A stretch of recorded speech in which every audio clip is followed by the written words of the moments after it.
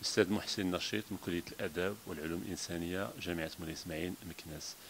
آه، اليوم كان عندنا يوم دراسي حول المدينة العتيقة تراث وثقافة واللي كانت فيه آه، نشاطين. النشاط الأول هو عبارة عن متحف للذاكرة الجماعية المغربية والشق الثاني هو يوم دراسي اللي أتتوه مجموعة من الأساتذة اللي كانت عندهم مداخلات في مواضيع مختلفة.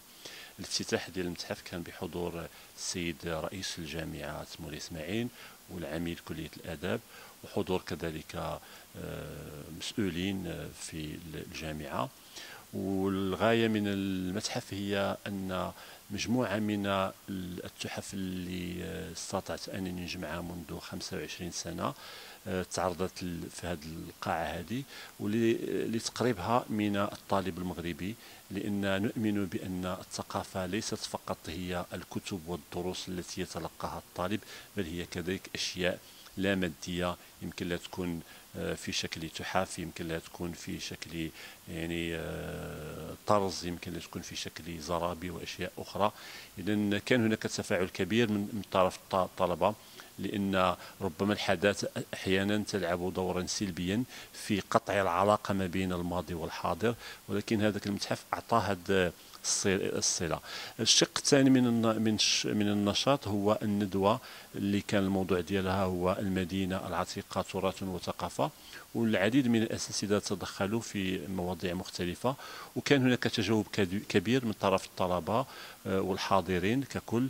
ونحن بصراحة نؤمن بأن نوع من المبادرة من هذا الشكل هي آه، مهمة. ويمكن تكون دائما باستمرار سواء كانت هناك في رحاب الكلية أو في المدارس الابتدائية أو الثانوية أو حتى في الفضاء العمومي لأن مسألة التراث هي ليست فقط مسألة للماضي بل هي كذلك الحاضر والمستقبل. وشكرا. أستاذ مصطفى بن فايده باحث في تاريخ مدينة مكناس. فكان لي الشرف اليوم للمشاركة في هذا اليوم الدراسي اللي تعقد بكلية الأدب والعلوم الإنسانية بمكناس اللي تحت موضوع المدينة العتيقة تاريخ وتراث. المداخلة نتاعي صبت حول تاريخ مدينة مكناس حيث قمت بالتعريف اولا أصل التسمية نتاع المدينة ثم مختلف المراحل التي قطعتها هذه المدينة في تاريخها منذ قدوم عناصر من قبيلة مكناسه في النصف الثاني من القرن العاشر حتى مرورا بفترات الموحد المرابطين والموحدين والمرينيين والوطاسيين والسعديين ثم فتره حكم المولى إسماعيل اللي أصبحت فيها مدينة مكناس عاصمة للمملكة ثم آه، حتى الدخول الاستعمار في القرن العشرين. ثم آه، عرفت بأهم المعالم التاريخية لميزة كل مرحلة من هذه المراحل مرورا بالأسوار والأبواب والمدارس المرينية ثم خصوصا المدينة الملكية في عهد السلطان المولى إسماعيل التي كانت مدينة الأبواب والأسوار بامتياز يأتي على رأسها. باب منصور العلج الذي أصبح مشهورا عالميا. الأستاذ محمد حاتمي أستاذ التعليم العالي بكلية الأداب سيس فاس.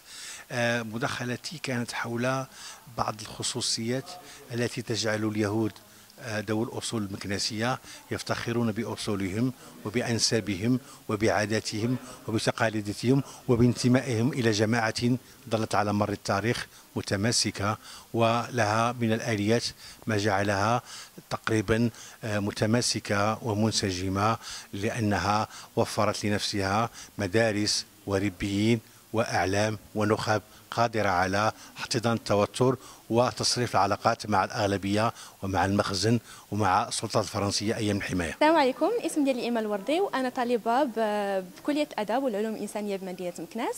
اليوم كانت عندنا واحد المحاضرة اللي كانت على الأولد مدينة أو المدينة القديمة في مكناس.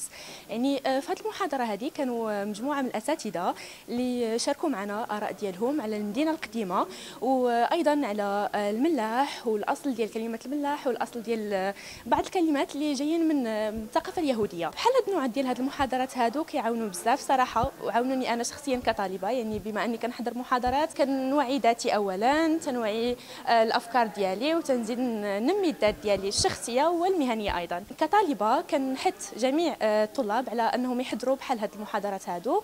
وعلاش لا؟ ما يكونش تكونش واحد الاستفادة جماعية إن شاء الله. وشكرا. شكرا على المشاهدة. إذا أعجبك الفيديو اضغط على زر الإعجاب. لا تنسى الاشتراك في القناة وتفعيل الجرس وتابعنا على مواقع التواصل الاجتماعي. مرحبا بك.